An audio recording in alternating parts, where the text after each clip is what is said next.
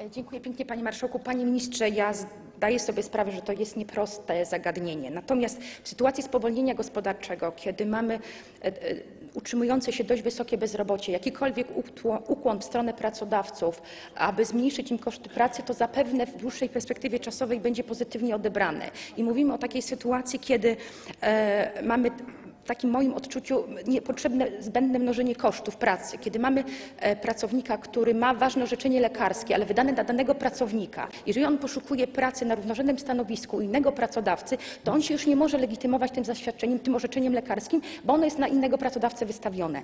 A dodajmy, że to stanowisko pracy jest zupełnie równorzędne, te warunki pracy są dokładnie takie same. Ja mogę dać przykład swojej osoby. U mnie w biurze pracuje pani na stanowisku administracyjno-biurowym, która również pracuje u innego pracodawcy i w sytuacji, kiedy ja ją zatrudniałam, ona musiała mieć ode mnie zaświadczenie, skierowanie na badania lekarskie, tylko dlatego, że jestem innym pracodawcą. Więc wydaje się to takie trochę nielogiczne, prawda? Drobny ukłon w stronę pracodawców, e, likwidowanie takich troszeczkę absurdalnych barier może być bardzo dobrze odebrany przez rynek pracy i przez pracodawców, a o to nam chodzi, prawda? Dziękuję ślicznie.